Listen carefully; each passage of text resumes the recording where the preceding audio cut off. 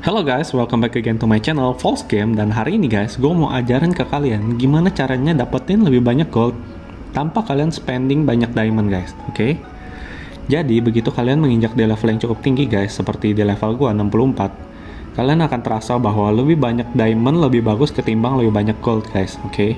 So when you reach high level guys, you will think the diamond is really important rather than your gold guys. Jadi gimana caranya kita untuk dapetin gold? Tapi sebelum itu gue mau bahas dulu sebenarnya diamondnya itu penting buat apa sih guys? Oke? Okay? What is the diamond used for when you in reach high level? Oke? Okay? Uh, like a event like this guys, you see lucky tumble. You see this event guys, this event really need a lot of diamond, oke? Okay? Jadi event ini membutuhkan banyak sekali diamond kalau kalian mau dapat rare TM kayak gini guys, oke? Okay? Rare TM is very important guys, but if you want this you really need spend a lot of diamond you know? That's why you really need save your diamond when you reach high level guys. Karena mau nggak mau TM rare seperti ini kita penting guys. Kita harus punya. Karena nggak bisa kita ngandelin kayak war spirit doang atau Rubicon dan lain-lain guys. Karena itu terlalu mainstream dan banyak orang yang lebih pakai TM bagus seperti ini guys sehingga mereka lebih kuat jadi caranya gimana kalau kita mau save diamond tapi kita dapetin gold guys? Biasanya, usually normal player when they need gold they just buy like this guys. Oke? Okay?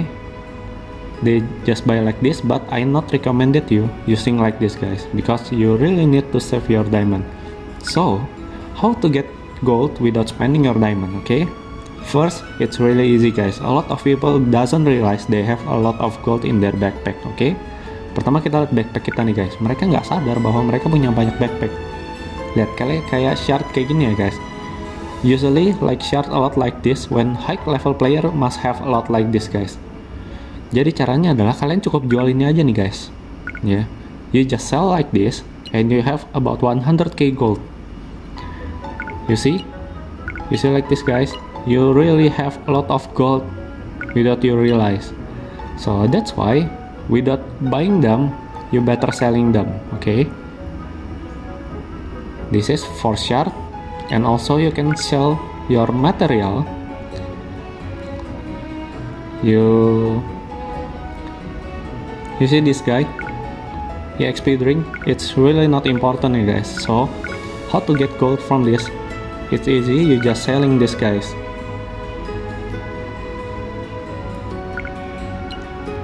I really get out of gold with selling this guys.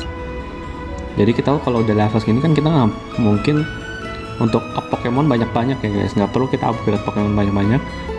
I make about 1 million just selling unused item guys. This item is no use for me and it give me a lot of gold. See guys I have a lot of gold. Without we realize guys just sell the XP drink okay guys? This is also this is expensive one. Okay. I just sell them and I got a lot of gold without spending my diamond guys. Oke okay.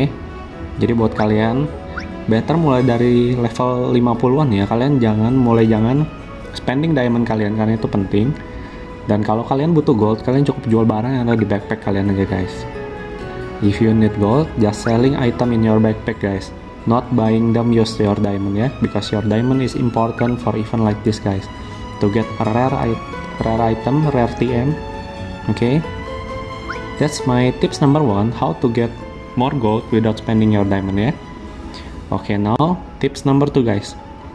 Tips number two is how to get more weekly reward. Okay, guys. If you see button in collection album, guys, this is collection album. As you see here, kalau kalian lihat di sini, guys, you see, setiap minggu kan kita tangkap Pokemon ya, guys, untuk dapetin reward. As you can see, guys, when Pokemon reach uh, 9 star, we will automatically get the weekly reward without catching them, guys.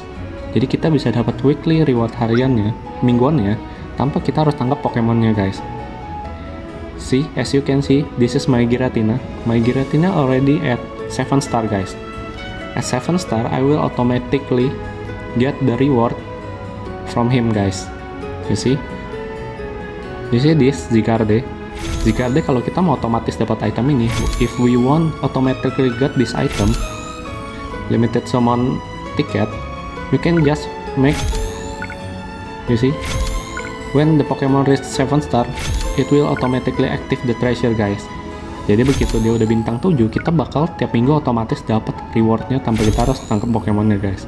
Jadi maka dari itu gue sarankan buat kalian mulailah kumpulin Pokemonnya dan jangan di recycle kayak gue ya guys. Gue nyesel banget gue recycle banyak Pokemon. Sebenarnya kita bisa bikin dia aktifin reward mingguannya guys. So see this if my Pikachu at get 7 star I will automatically get this item guys that's why if you rise the star of the Pokemon it's really important ya guys because you will get automatically get reward That's why mulai dari sekarang guys kalian jangan jual Pokemon kalian ya atau recycle Pokemon kalian. You see my Rayquaza already have 11 star so I automatically got the reward guys. That's why you need to make them 7 star for SSR is 7 star and for SR is 9 star guys. When it's 9 star will automatically got the reward. Okay guys. Oke, okay, jadi gitu aja sih guys video dari gua. Gue cuma mau kasih tahu dua tips yang penting saat kalian di level tinggi ya guys. Yang pertama adalah gimana cara dapetin gold tanpa kita spending kita diamond kita. Dan yang kedua, get more weekly reward catch without catching the Pokemon guys because we will save the Pokeball for another SSR hunting guys. So we don't need to spend a lot of Pokeball by getting a weekly rewards, oke? Okay? gitu aja sih guys video dari gua jadi mulai sekarang kalian harus save Pokemon kalian jangan di recycle dinaikin bintangnya sampai kita bisa dapat hadiah mingguannya tanpa kita harus tangkap Pokemonnya guys okay? okay, guys that's all my video. Hope you get the information. Thank you for watching. Bye bye